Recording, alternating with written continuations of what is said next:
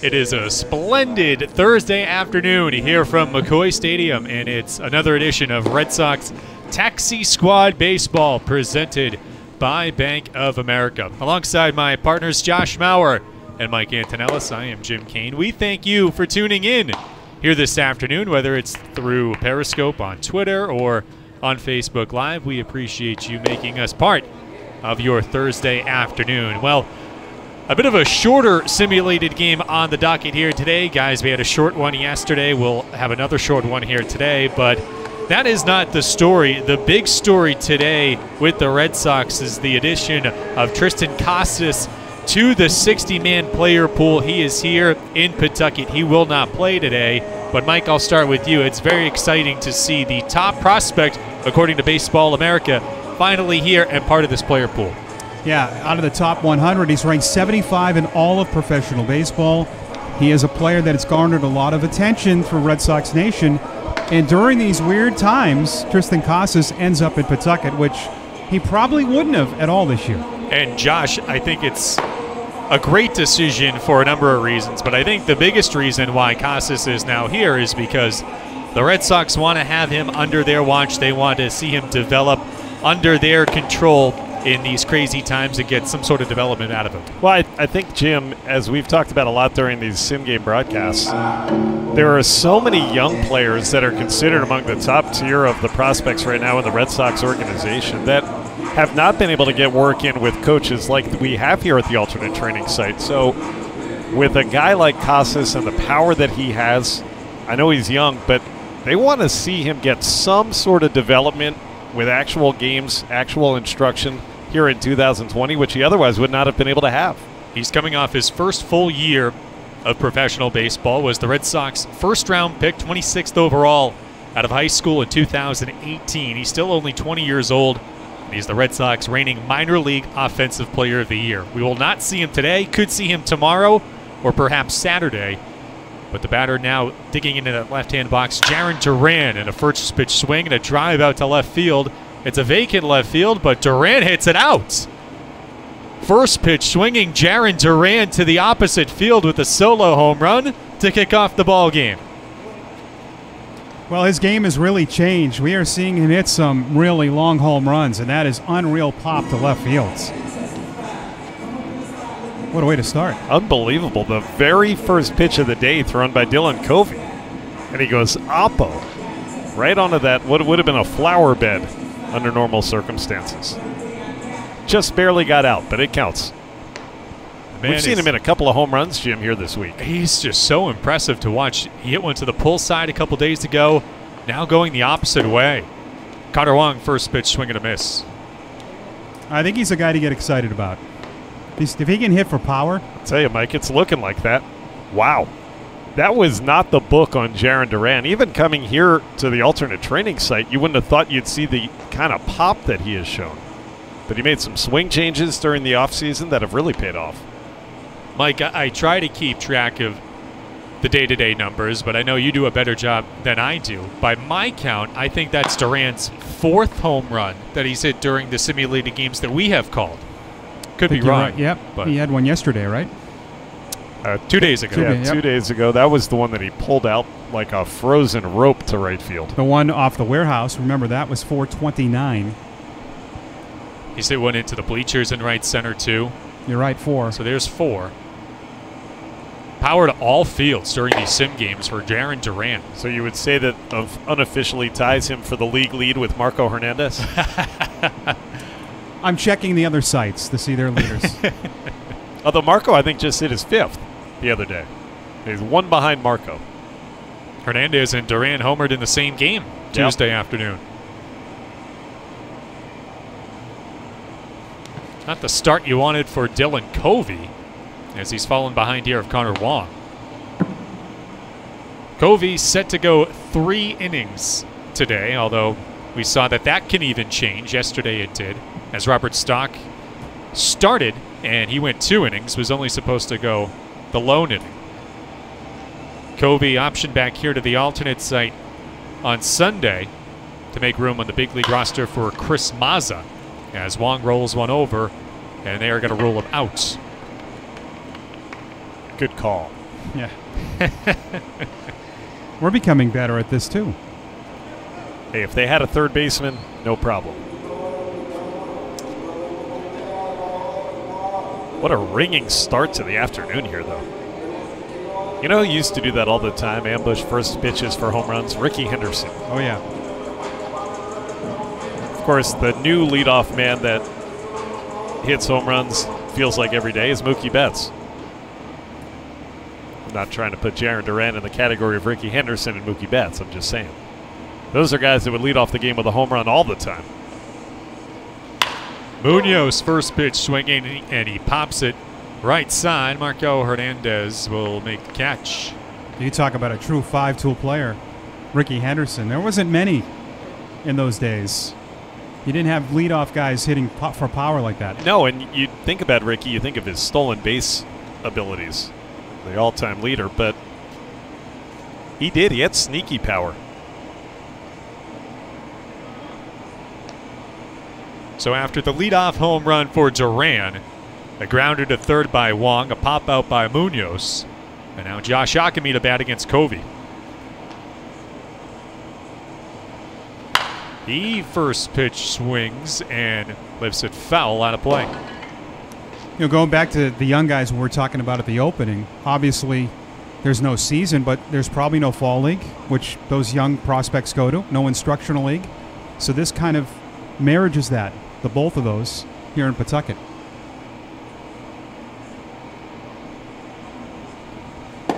Up and in on Ockimey. Can you- oh, sorry, Josh. Casas was here today, and he took batting practice and he fielded grounders at third. He has spent the majority of his young professional career at first base, but the Red Sox moving him across the diamond to third. Swing and a miss. Good pitch there from Covey. Yeah, the bottom just dropped out of it. I think that's good too, Jim, to get his feet wet. Let him do the early work before they put him in any of these sim games. And again, it's kind of like a situation where we've talked about Jay Groom having hardly ever faced the level of competition that he sees here with these advanced minor league and some major league veterans. It's going to be the same thing for Mr. Casas. He's only been an A ball. Ockimey into the gap in left center field. This ball with some carry to it, and it hits off the base of the wall. Bruce Crabb throws two fingers up to signal a double for Josh Ockimey. So a pair of left-handers here in this first inning going to the opposite field with some authority. That one really jumped off his bat. Didn't that sound good? Did, Oh yeah. man, did he square that baby up? That's When a thing of beauty for lefties. When Ockimey connects, Mike, they go a long way. He's had some good swings this week. He's ripped a couple line drives to right, and you can tell he's really locked in when he hits for power the opposite way. On Centeno now the batter. We were talking about Rickey Henderson being the Major League's all-time stolen base leader. Can you name the top three? So who's number two and who's number three? Tim Raines. Good No. guess. Incorrect, however. Oh. Raines is number five of on the all-time Vince list. Coleman's in there. No. No, Juan Pierre. nah. Vince Coleman is number six, so he is just behind Tim Raines. You're missing number three and number four. I feel like no one runs anymore like they used to. Well, there is one on this list. It's probably an obvious. It's it shocked me, and that's why I asked you guys this trivia question. You've got me stumped. How about Billy Hamilton? It's number three. Wow. No kidding. Already. Wow. 914 steals. Wow. And you talk about stolen bases. That's really a lost art in the game today. Number four would be the great Ty Cobb. Hmm. But you're right, Jim. You don't see it as much. Now it's just all about hitting the ball out of the ballpark. You don't manufacture runs anymore, right? Centeno swings and doesn't get a slider in the dirt for strike three. So Covey ends up striking out Centeno to end the inning, but some loud contact to greet him. First pitch swinging, Jarren Duran with an opposite field shot. Ockimey followed that up three batters later with an opposite field double. So through half an inning, It's 1 nothing top half Sox, and now the bottom half Sox will come to bat. But first, a word from our presenting sponsor of these broadcasts day in and day out, Bank of America. We are entering a new chapter in our lives. Our confidence is shaken, cracked. We didn't ask for it, but we are rising to meet it. And how far we've come isn't even close to how far we can go. There's a crack in everything for a reason. How else can the light get in? Tomorrow starts today. Sim City here at McCoy. Another edition of Red Sox Taxi Squad Baseball. Jim Kane, Josh Maurer, Mike Antonellis. We're through a half an inning. We're scheduled to go about two and a half innings today. And you see the new pitcher coming on there. Robinson Leyer will take the mound, and he will pitch this bottom half of the frame. Hard throwing, slender right hander. Mike got to see him last year a little bit in Double A Portland when he was signed in the middle of the year by the Red Sox. Mike, I know you talk about how that arm it plays at any level. It's just a question of the secondary stuff and location. Yeah, he had a really tough time with some other organizations. Paul Abbott is terrific. Scheduled to be the Pawtucket pitching coaches here. Is really good with working with mechanics. And uh, sometimes you see the radar readings, you see 98, and you're just blown away because he's wiry. But we know it's not always that. Jim, you don't have to be the big, strong guy to throw 98. And he can bring it though. He certainly can. He, he reminds me a lot of Phillips Valdez. Yes. Guy who's coming out of the Red Sox bullpen has that wiry frame, but can still sling it and get the velocity up there. So he split last season between the Red Sox and Mariners organizations. 26 year old right hander. Pitched this bottom half of the frame.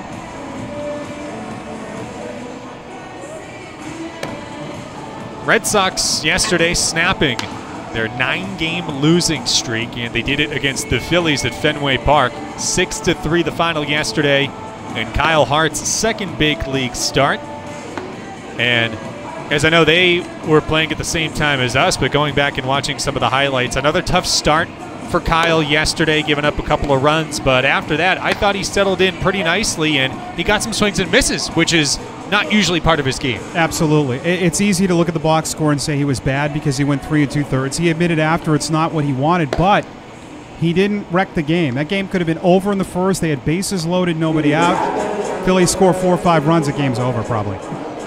Kyle said he took a moment in the dugout after that Yeah. first inning to kind of collect himself and say, all right, let me just make this a five inning game. Now, he didn't quite make it through five himself, but he certainly shored up the dam enough for the offense to get him right back into it and eventually win the game.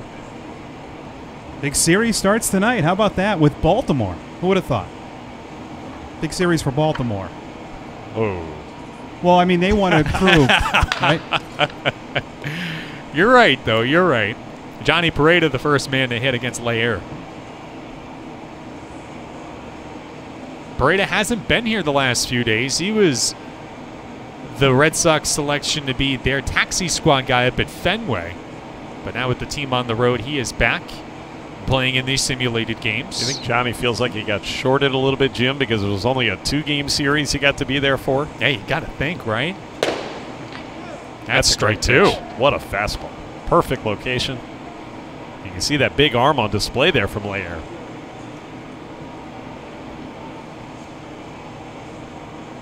So the Red Sox, with their seventh win yesterday, will start their first, first of four against the Orioles at Camden Yards. Nathan Eovaldi will take the ball, and Ron Roenicke in his weekly radio appearance on WEEI today broke a little bit of news. They were TBD with the starter for tomorrow, but it looks like if everything goes according to plan, Colten Brewer will be the opener. And in a roster move made today, Darwinzon Hernandez was activated as Pareda bounces that one back through the box. And Roenicke said that the plan, if Eovaldi can give them what he's usually capable of, Hernandez will follow him. If not, then you could see him tomorrow. But it looks like Darwinzon's going to figure into this rotation pretty early. Yeah, they want to just have him throw two innings because the pitches throwing uh, throw in the big leagues are a lot more pressure pitches than they are down here. So it should be a fun series. I mean, the Red Sox, if they can sweep Baltimore, they're, they're that's who they're behind now. Well, yeah. They really have to, right? They have to. I mean, they have to go on a ridiculous little stretch here. Jeter Downs takes strike one. You know, I was thinking, Mike, the old saying, Rome was not built in a day. right? You got to take it brick by brick. they lose nine in a row. Let's see if they can finally win two straight. But what, yeah, but with the short season, right? They Yeah, you're right. you're running out of time. Yeah. And against a divisional opponent, as you have talked about before, Mike, as that one's in the dirt. Chance to gain ground immediately, you know, against the, the teams that are ahead of you. Downs, much like Josh Ockimey, has turned it around at the dish. He's had some good swings this week. Had a ringing single up the middle a couple days ago. Starting to look more comfortable. He swings through a high fastball here, though. I have a feeling we'll see a lot of runs in that series. Just a hunch in that ballpark. Isn't it always that way when the Red Sox go to Camden Yards? It feels like the ball flies out of the ballpark. Mookie Betts, when he was with Boston, used to hit a home run or two every game he played at Camden Yards. It felt like. It's like you're rubbing salt in the wound over there, Josh. Yeah, sorry. it's my second Mookie reference in about five minutes. Big cut and a miss for strike three. And nothing but fastballs there from Robinson Leyer. And Downs late on all of them. Yeah, I think the difference in the first inning between the pitchers, Covey, his fastball was for strikes, but just up in the zone, Leyer's getting it past these guys. So one out, one on. And here's Cesar Puello. Back to the traditional walk ups for these guys after we had a little bit of fun with it yesterday where Billy McMillon, the manager here at this alternate site, wanted a little bit of a mix up when it came to the walk ups. We had a wide variety of songs played and it amused some guys. Some guys probably didn't take it the, the way that they wanted it, but things back to normal today. It was like dealer's choice in the press box. There's strike two and at the knees. We were hoping that they'll do that again. The It was a lot of fun for us. Yeah, we were, and we were hoping to get the viewers involved. I mean, it's a good idea. This one's blooped down the line and it drops in for a base hit. Nobody out there in right, so Puello's going to keep on going to second base. But now Bruce Crabb, in a motion like he wanted him to go back. Foul ball, Jim. Yeah, they're letting the catcher decide. I saw Krabby pointed to the catcher. It said six inches foul. That's pretty good eyes, huh? It's a game of inches, huh? Somebody got out the ruler. It's hard though without the chalk, isn't it? Yeah. You can see there the field looks gorgeous as always at McCoy. Matt McKinnon and his crew have done a fantastic job, but they don't paint the chalk lines every day for these sim games. I like that Matt's a big Guns N' Roses fan. That's I, I am too. So every time we leave, that's what we hear. he gets he gets a whole soundtrack. He deserves it. He sure does. Does a great job along with Alex Tedesco day in and day out getting this field ready for these guys. As Puello waves through a slider. So how about that?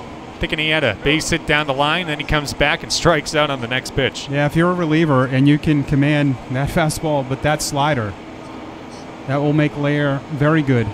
Boy, Ron Roenicke did not shy away about there needs to be something to speed the game up. And if you guys could hear the conversation, I mean, he was very vocal about it and says that they have to do something, that it's getting out of hand.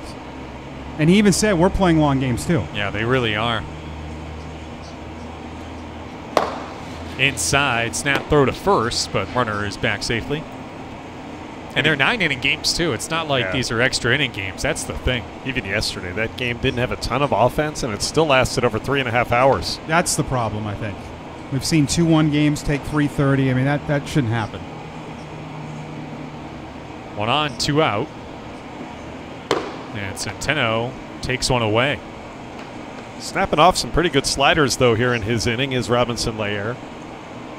You, ju- you just said it, Mike. I alluded to it when he was coming to the mound. If he has that secondary pitch, that makes the fastball all that much more effective. And that fastball touching 97, according to our own Tim Cordadamo, who's uh, operating the TrackMan today. That one dips a bit low. So pretty good velocity from Robinson Leyer.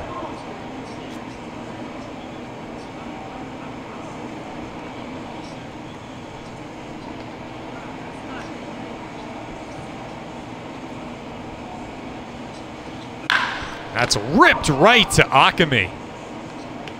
Oh, he couldn't hit it any harder than Juan Centeno just did. But Ockimey played him perfectly. Stuck the glove out, made the catch. Look what I found. Yeah, some loud sounds here early.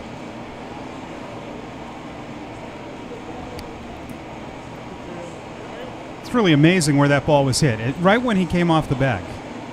And look at this. They are changing innings. But as you can see on your screen, Ockimey never moved. He's just staying out there at first base. Yes. He'll wait for the new pitcher and say, come join me. That is the beauty of these simulated games. And as you see there, Dylan Covey back out for inning number two of three today.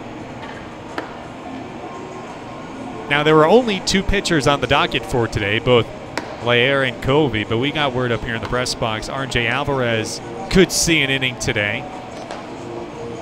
So we'll see whether or not that does end up happening. I think it's looking probable, Jim, as I look down at the bullpen and see him warming up.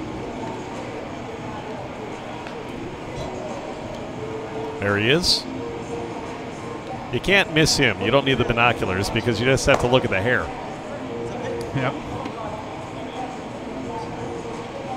And in our job, after I think three weeks, you start to know everyone throwing by certain ways. Yeah. Mechanics, but you can tell by the, the hair. See, I could tell when I walked in who was in the director's chair. I could tell by the hair. Good moss. Yeah. I've got.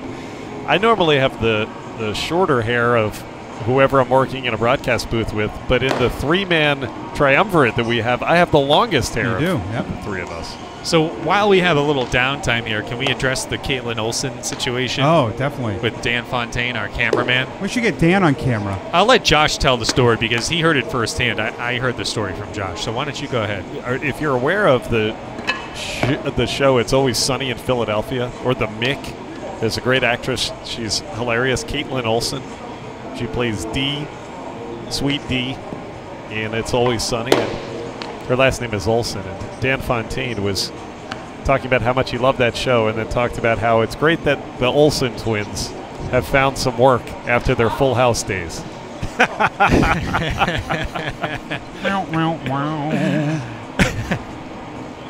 Try again. It's all right, Dan. We all make mistakes. I like how Jim, you're calling Dan out on it though.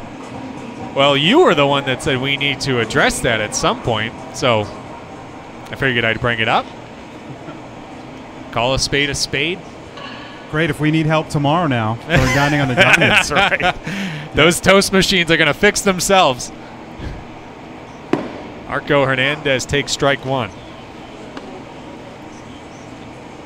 Marco has been swinging it really well this week.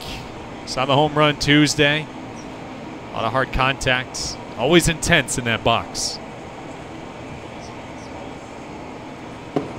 You might not even know Full House, Jim. Are you too young oh, I'm Full a House? big Full House guy.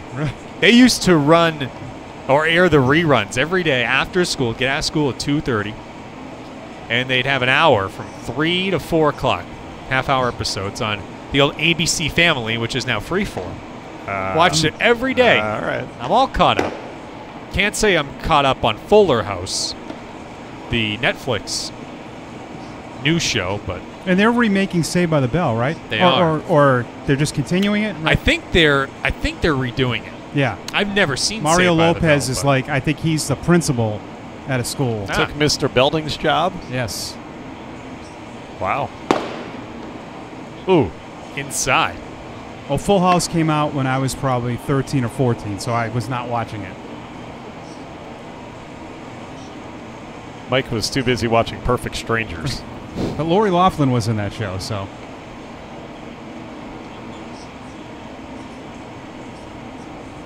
She's probably not in the new show anymore, right? I don't think so. Otherwise occupied. Yes. That's ball Wow. four to Hernandez. Just missed the corner. Do you see how uh, upset Dylan Covey was at a couple of those calls by umpire slash coach Bruce Crabb? It's about as quizzical of a look that we've had from a pitcher back to Krabby. I know. That's the weird thing about the umpire being right behind you on the mounds. I think Krabby gets it, though, right? Totally. He's got pretty thick skin, too. Bobby Dalbec bats for the first time and fouls it straight back.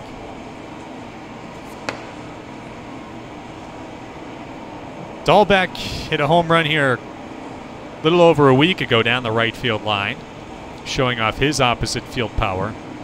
It's interesting reading the the scouting reports and some of the stories on Triston Casas. I see a lot of similarities to the guy at the plate right now as he goes the other way and drops one into right field, a base hit. Hernandez touches second, heads to third. Dalbec will glide into second base. Well, he's doing that a lot, going the other way. That, that's it's beautiful to watch. Gonna have to use a ghost runner at third base. You can see Marco vacating the premises there, but you're right, Mike. If Dalbec uses all fields, that makes him that much more dangerous of a guy to pitch to. Yeah, and it, it allows him to get more pitches where he wants them to pull.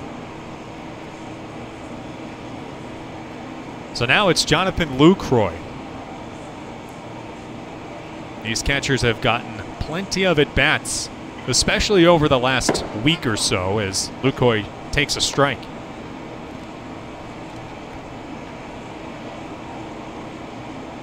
Lucroy, 34 years of age, former two time All Star, led the big leagues in doubles in 2014 with the Milwaukee Brewers. He's been a valuable commodity here at this alternate workout site as he bounces this one left side, glove by Downs, and the throw in plenty of time. Or do we give him credit for an RBI? I was just gonna say, Mike, sh- Yeah. should they have thrown home? I think they had a play on the ghost runner. Marco had a good read. Situational hitting there. Nice job by Jonathan Lucroy. Get a man in, get a man over. And we'll have another ghost runner. There goes Bobby. So I'm assuming that Jett Bandy is on the taxi squad, right? Because we don't see him. Through process of elimination, I would assume you're Pretty, correct. pretty good, huh? Boy, we're getting good at this. Nothing gets past you, huh? Nothing. So Hernandez bats again. Strike one over the inside edge. So they are playing this as if there were a runner on third. The infield is in. The three infielders that are out there. And there's nobody on base. How often do you see that alignment? Infield in, no base runners. This one's hit out to left, and let's see what they'll call it. I think they're calling it a base hit. I'm calling it a base hit, right? You were all over that. It has to be. I think so too. Bruce Crabb agreed. RBI single that time. Actually, it was a pretty good pitch, too. Well, how about the opposite field hitting, not only in this inning, but in this game, guys? First Yeah. Duran, then Ockimey in that first inning, and now Dalbec and Hernandez. Every single hit, Jim. Marco on base twice already in this second inning. This one skips away, and Hernandez up to second. And then Johnny Paredes single up the middle against Leyer. So you've got some really good swings here today, and it kind of sticks to the theme that we've been talking about over the last few days. It seems like the bats are finally starting to catch up to the arms. And Mike, I know you said it yesterday, or perhaps even the day before. it's almost like spring training again for these guys, where they're getting these live at bats, and now they're really starting to settle in. Yeah, you can tell the at bats are quality at bats, even the outs, but guys go into all fields. And I just love how these guys are playing here during these taxi squad games. A lot of intensity. There's a breaking ball that misses away. They moved Hernandez back to first. Well, one of the orders of business recently has been having the pitching and catchers doing the work to hold base runners. I think they wanted to have Marco at first base. Swing and a miss. A lot of movement on that fastball from Covey. Yeah, one of his best. That's behind. I think Dalbec is asking a catcher there, Pereda. What in the world was that? So with Dalbec up again, it brings me back to my point in his first at bat. You see a lot of similarities with the soft hands, the strong arm between both he and Casas, playing both corner positions in the infield, and of course the power too. So the Red Sox have a surplus of guys who can play both first and third base. You also have to take into consideration Michael Chavis, who's already up at the big league level. So seems like they're set for quite a, a bit, if you would think about it, at first and at third. Yeah, and obviously, if they feel all these guys can play in the big leagues, they'll move one to the outfields, and you could have a murderer's row of power hitters up there. This one's popped up right side into that Bermuda triangle of sorts, but Puello camps underneath it, makes the catch. Who do you think spent more time in right field over the last, oh, let's say 16 months at McCoy? Cesar Puello or Rusney Castillo? Well, Puello's giving him a run for his money, huh? Dan's saying he has spent more time in right field. Oh, that's a good one, Dan. All of us, really. Yeah, yeah, that's Because that's where we have our tables now for dining on the diamond. That's a terrific point. I think you've made up for uh, the Kate Olson comment. Very good. Two down, and Lucroy takes a bender for a strike. I thought we were dragging that out another month, no? I'm going to go home and binge watch It's Always Sunny in Philadelphia tonight in Dan's honor. Lucroy batting for the second time in this inning. It's been the same three guys. Marco, it's all back in. Now Lucroy again as Covey checks on Hernandez. I just pulling up Jarren Duran's stats. I was curious. He only hit five home runs last year in the minors. Wow. He hit four in Double A. Check that one in Double A. I always say, grow as a hitter, higher levels, see better pitching. I mean, I think that is a perfect example of calling up a guy who wouldn't have started the season in a regular season at the AAA level, I would assume, and I think you guys would agree. But being here and under the watchful eye of these, we'll call them Red Sox coaches because that's what they are here in 2020. I mean, it's done him, you know, a world of wonders, really. And the results prove it. That's a strike. Well, and then you ask, maybe some would say, what's the point of getting Triston Casas here? That. Get him here. Exactly. Get some work, Yeah, absolutely. development time. Yeah, 100%. can't lose a whole year. That'd be tough. And that's what so many minor league guys are having to do, unfortunately, this year. It's really sad. Yep. It is sad. And I also think being their first round pick and their reigning offensive minor league player of the year has to have something to do with it. As there's a ball in the dirt. Lucroy, or check that Pereda with a throw to first. The other thing that Jarren Duran did, as I alluded to when he hit the home run, he made a swing change. Yeah. And obviously that has given him the impetus to hit for a lot more power, Mike. And you saw him last year with the old swing. the hands weren't where they are now. They're, they're further down. He's generating a lot of power, though. And we've talked about this too. He's big and strong, He is big. which people don't realize in that uniform.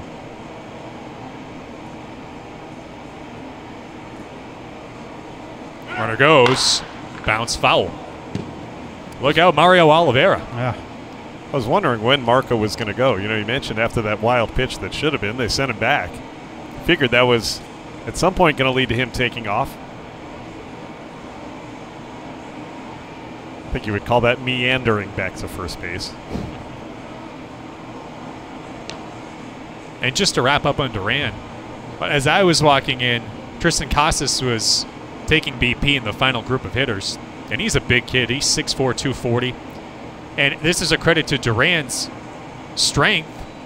I, I mistook Casas for Duran because Duran's just added so much strength. Yeah, and if you see Casas for his age, it's crazy. But those guys that look like that usually go high in the drafts. As he did back in 2018. 26th overall selection. How about Casey Mize last night? Speaking of a top prospect that everyone knew of in his big league debut, he threw well. Seven strikeouts, right, Mike? Yes, no walks, which is impressive. Marco off again, and that is low and away.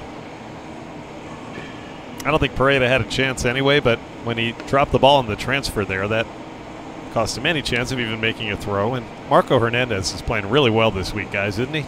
Doing a bit of it all.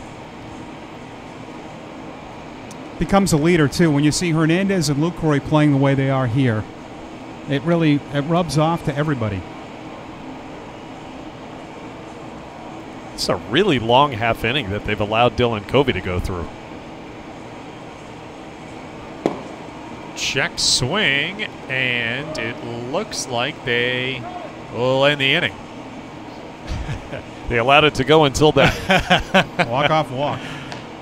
Lucroy was about to take off the shin guard, but instead got word that that was it. So a long inning, to your point, Josh, for Dylan Covey. Some good swings off of him, though, from Dalbec, from Marco Hernandez. And we are through an inning and a half here at McCoy. So we talk about the Red Sox and we talk about the youth movement here. That's really been the theme over the last few years across Major League Baseball, but especially so here in 2020 as you see RJ Alvarez coming on to pitch this next half inning. How about Fernando Tatis Jr.? He's going to be the story in Major League Baseball now, guys. He is tearing it up for the San Diego Padres. And Tatis Jr. leads Major League Baseball in home runs, RBIs, runs scored, and stolen bases. Yeah, and I really, uh, many might not agree, and that's fine. The Machado move for them was good for this reason. They had a lot of young players. You bring in someone like that that's a veteran. You know Machado has been a guy he can lean on. They knew they had a superstar, and uh, he comes from a good background. His dad was, uh, Tatis's dad was a pretty good hitter, but, you know, we always hear that Major League Baseball sometimes maybe doesn't market their stars, but I feel like everyone knows who Fernando Tatis is, right? I wouldn't go that far. You don't think so? I think the controversy of this week that he's been involved in has gone a longer way towards having him become well known than any of his accolades. I mean, for base for baseball people, though. well, I don't know. How many games did you watch Tatis Jr. play last year as a rookie? Well, I didn't watch, but I knew who he was. All right. Yeah. I mean, to, to say you don't know who he is if you're a baseball Uh, that, that's probably true. Yeah. And the other thing is, out in San Diego, you do tend to get lost. The general fan might not know. I that I agree. But I will say, is you were reading his league-leading accolades, Jim. He also leads the league in controversy, probably. He does. which for baseball at this point isn't necessarily a bad thing. But he is tearing it up for the San Diego Padres, and now RJ Alvarez will become the third pitcher here in this simulated game. Alvarez, you see the long moss, as Dennis Eckersley and Josh Maurer like to call it, flowing from underneath the navy blue cap. I'm just flat out stealing that from Ed. Grand theft larceny. The FAU product.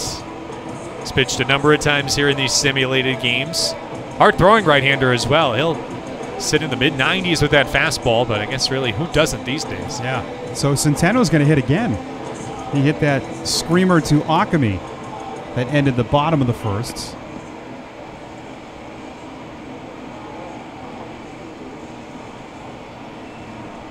Dan Fontaine just texted and said, I'm with Josh. And I think that's in reference to Fernando Tatis Jr. Leading the league in controversy. Yeah. You know, you could be with me on a lot of things, guys. It's, a, it's okay. First pitch swinging is Centeno, and he lifts it to center. And Duran back pedaling to make the grab. Great shot there from Dan Fontaine, operating the high home camera on a gorgeous Thursday afternoon.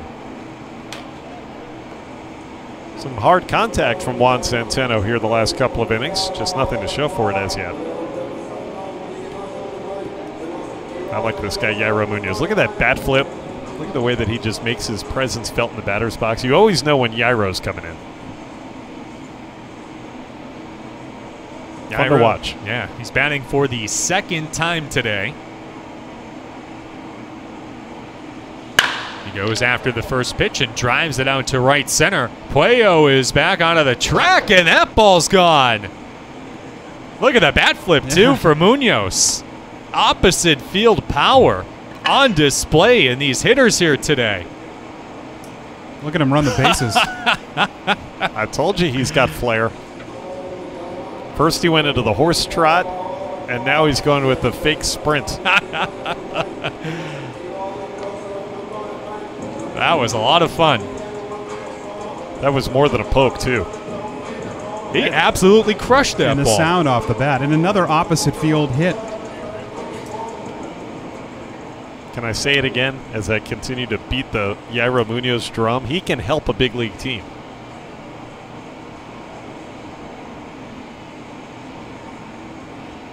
Johnny Pereda takes a first pitch strike. And he has last two years with the Cardinals as that utility guy. So we'll see if he gets a chance to do that with the Red Sox. Pereda had a nice at bat his first time. And he bounces this one to short. And Downs throws him out. Uh, now, Josh, what I was going to say too, if you played MLB the Show like I do, you would have known. You'll know everybody in the game, to all the minor league players. That's right. So we need So to get you you knew Tatis because he was one of the highest rated virtual players. I think I knew him because of his dad. That shows my age. Remember what Fernando Sr. was most famous for? He hit two grand slams One in inning, one inning. That's a major league record. You wouldn't think that one's ever going to be broken, or at least not anytime soon, but Oh, who the, knows? the odds of it, you coming to bat twice with the bases loaded in one inning. Josh Ockimey, first pitch swing and a miss. Ockimey has had one of the good swings today. There have been a lot of good swings. Had an opposite field double that hit off the base of the wall in left center, off the Honda advertisement on the fence.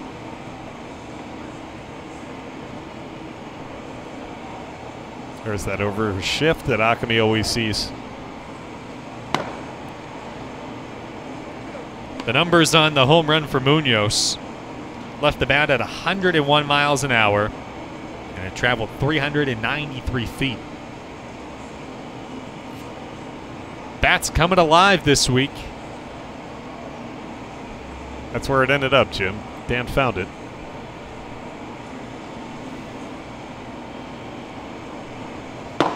Swing and a miss. Swung over the top of a slider. And Ockimey down on strikes. So they'll give him one more out, it looks like. You know, I think that ball has been there for a couple days. I was just thinking that. It didn't go that far, No. did it? Now, there have been a couple out there. Dan was trying to fool us. He's unreal. Look, yeah, he loves it. He's got a sheepish grin. Uh, taxi squad humor. Jonathan Lucroy to bat here against Alvarez. And he takes strike one.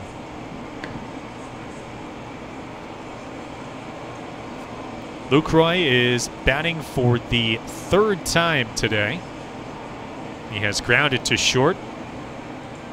And his plate appearance ended the last half inning for Dylan Covey. Fouled off the catcher. Hmm. Connor Wong behind the dish. He appears to be all right.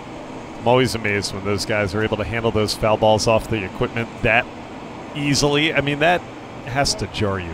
Yeah. It's coming at you over 100 miles an hour right off your mask. I was just going to say that. The velocity coming off the bat. Inspecting it, making sure there's no breaks. I don't know about you guys, but no thank you for me. No. Absolutely not. Nope.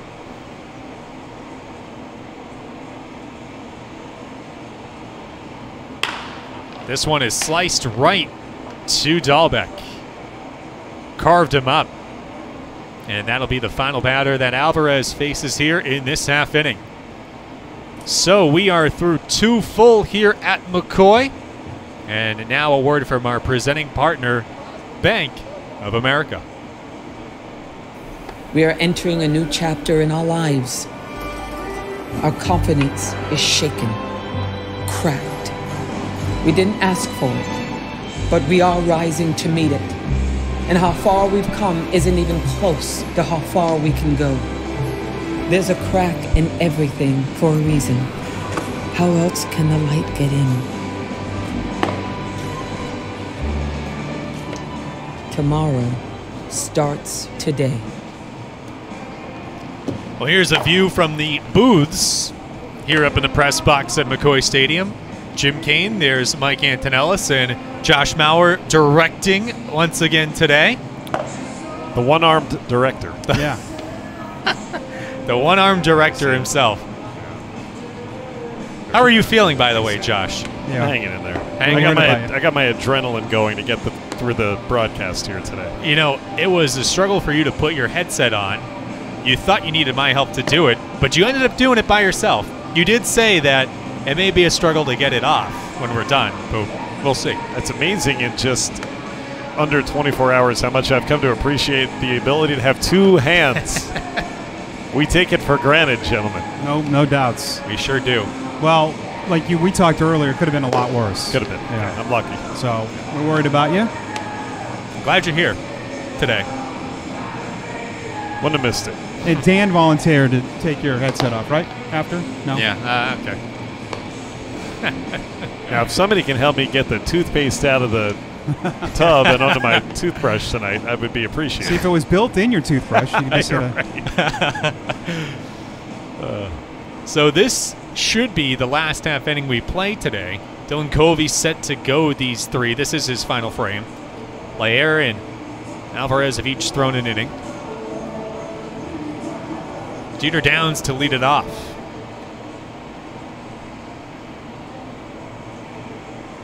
Downs struck out swinging in his last and only plate appearance so far. On a high fastball from Leyer. Beautiful sky. You get these at McCoy on these late afternoons with the puffy white clouds. it's great weather too. Low humidity. and they usually turn into beautiful sunsets. Hoping to have some this weekend when we resume our dining on the diamond tomorrow night and Saturday night.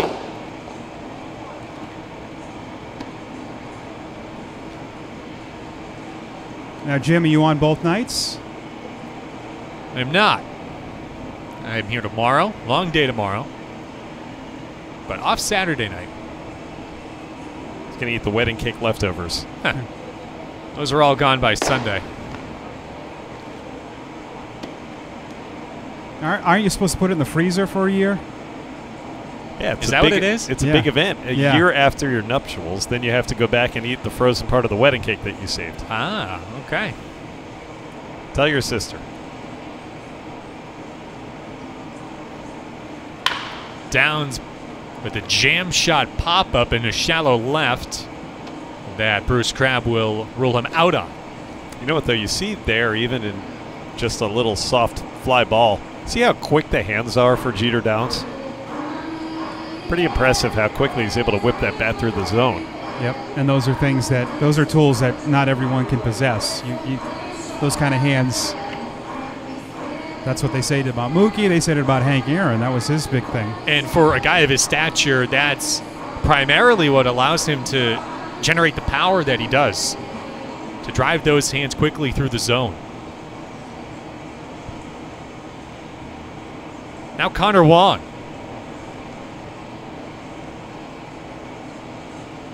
There's a breaking ball that's in for a strike. So how about this? The two primary pieces from the Mookie Betts trade batting back to back here in this inning. Wong has had a good week too. He's thrown out a few base runners behind the plate. He's shown some power, had an opposite field double a few days ago. And it's weird for these catchers because sometimes they're gone. Yep. And I'm sure, I don't know if they take batting practice in the big leagues. Maybe they do. But they're still not facing this caliber. Well, I can tell you what they do do a lot of when they're up there, Mike. I'm, sh- I'm certain they're catching a lot Oh, of yeah. pens. That's why you're there. Yep, they're there for a reason. Swing and a miss. Another good fastball from Covey. He's featured a couple of those two seamers that ride down and into right-handers. Yeah, it's it's like a great old-fashioned heavy sinker. Tough to make contact with, and he's gotten several swing throughs. He threw a really good one to Bobby Dalbec, who swung over the top of it, and now one here to Wong. Tap foul. Speaking of sinkers, Ryan Weber has straightened some things out up in the big leagues recently since he was called back up here from the, this taxi squad. Good to see for Weber, who was a guy who pitched here last year with the Pawtucket Red Sox. And his numbers are interesting when you look at him in a relief role versus a starting role. Now, you also have to wonder, too, how many of those relief roles have come in mop up duty. But nonetheless, he is getting results. And good to see for Ryan Weber. That one is just outside. He's made a few of those pitches that these hitters have taken. Breaking balls. Lucroy took one that ended the second. You know, you thought this might be a swing early, swing often kind of day when Duran homered on the very first pitch, but ever since, you've seen a lot of patience, long at bats.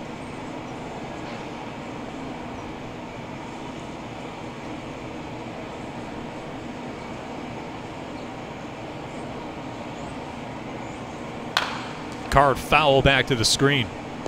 Ron Roenicke, he said that they, they think Kyle Hart will get another start. They didn't want to commit to that.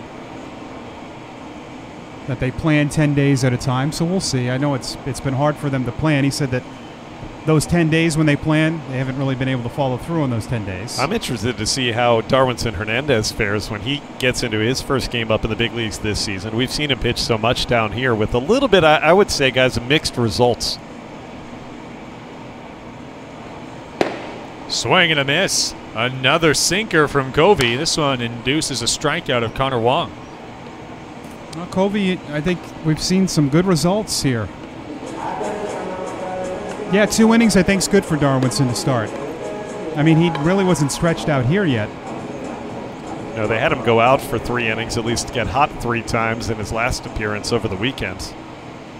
But I think he only faced two batters in his third inning out there, if I remember correctly. So, yeah, he's not stretched out. Not fully. Puello takes away. Uh, some bad news in big league baseball. The Mets have a COVID case, so their game tonight's been postponed with the Marlins. I think the Marlins are sitting there thinking, are you kidding me? Not again. That could wipe out that series, right? As we Yeah. know. Josh Ockimey, the first base umpire, they checked down with him and he said no swing. It's interesting how it's changed, though, because that very first week when Major League Baseball started, Juan Soto tested positive, but the Nationals played on opening night. Marlins had Alfaro test positive, and then they played three games. Now, all of a sudden, you get one positive test, and everything's shut down before you can do more testing. And I think the idea of a playoff bubble just becomes a better idea by the day. I just, it, they would be crazy to keep it the way it is hmm. now and not have a bubble. I completely Can't have agree. pl- if then well, how would you do the playoffs? If a team tested positive, what would you do? You just stop the playoffs? You'd, well, you'd have to, right? You'd almost have to either put a pause in it or you'd say, sorry, You're out. you guys are out. yeah, that's true. That's yeah. San Diego appears to be one of the leading candidates. I think everybody would be pretty happy to spend part of their October out in San Diego. They No could do it here. No question. Here's a strike that clips the corner. Now, Mike, this is Sim City. This is not Playoff City. It's not real city. oh, I- I'm going to get some messages about that. Yeah, I don't think many people would mind being in San Diego for the postseason. But I think it has to be a, a given at this point as Puello gets underneath and pops this one to shallow right center. And Bruce Crabb will call him out on, and that will end it. So a nice bounce back inning that time for Dylan Covey in his third and final frame. Sends Downs, Wong, and Puello in order one, two, three. So that'll do it for us here today. Again, another short one here from Sim City. Dylan Covey with three innings, Robinson Leyer an inning, and RJ Alvarez an inning of work on the mound. Well, guys, I think again the story today, besides from the arrival of Triston Casas, who has not yet played in a game, we expect that in the coming days. I think the offense, though, starting with the very first pitch, Jarren Duran, that opposite field power. Mike, I'll Yeah. start with you and opposite field approach, and that really worked for a lot of guys here today. Yeah, I thought the, the quality of at bats were terrific, and Josh made a good point. Duran homered on one pitch, we saw to, to start things off, but we saw a lot of deep counts today. Guys hit good at bats, going the other way is part of that, too. So I was impressed, impressed of the approach, and you know that Rich Gedman down here is as well. Yep, they're grinding even over a month into this, and you'd think maybe the monotony would have you lose that focus a little bit in the batter's box, but that's not the case. You're right, good at bats. And another impressive home run from Yairo Munoz. I know you guys are getting tired of me talking about him.